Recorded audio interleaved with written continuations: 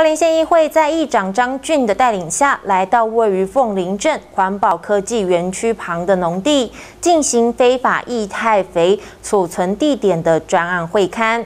在多位议员以及县府环保局长的陪同下，对农友挖放、囤放液态有机肥提出相关的质疑，并决议提案送花莲地检署进行业务侦办。三星农民喊冤，因为要整地，面积大。所以先挖储存洞，陆续加入土壤、改良剂以及泥土混合之后，再用挖土机放置田里。目前挖土机也都无法使用，才会暂时存放。对于引起发臭扰民，倍感抱歉，会立即改善。呃，我其实只是一个小农，我很单纯，只是要要种东西，然后把地地上的肥力做改变而已。那我不知道为什么他们要扣我这么多的帽子。我这边主要是规划种果树，但是我要打基肥。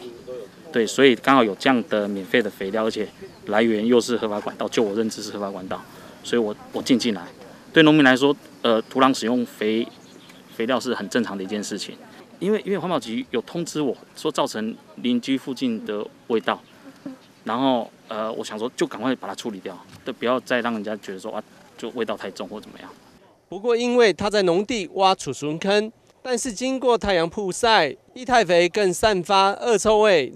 那附近的居民是闻到食不下咽。那农民今年跟我们申请了大概三百四十公吨的易肥，哦，他们他做来使使用，哦，那我们六月二十八来巡查的时候，有发现它是露天露天储坑，他是想方便要随时随时随时拿随时用，不用不用到房科那边去拿。那我们跟他讲说，这个有环境卫生的问题，所以我们会。我们有开这个环境卫生的陈述意见书，那我们七月十一有又来采样，我们这个采样的结果，哦，我们要十四天出来哈，如果超标，我们会我们就会进行这个废清华来移送。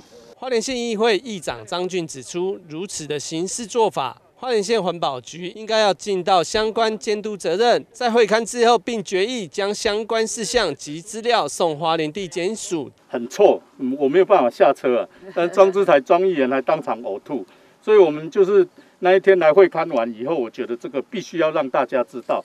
因为我觉得环保局他一直把这个要掩埋掉，刻意要掩埋掉，就是不要让大家知道这个讯息。那我我认为说这非常严重，已经严重的破坏我们的水质，还有影响这里的生态。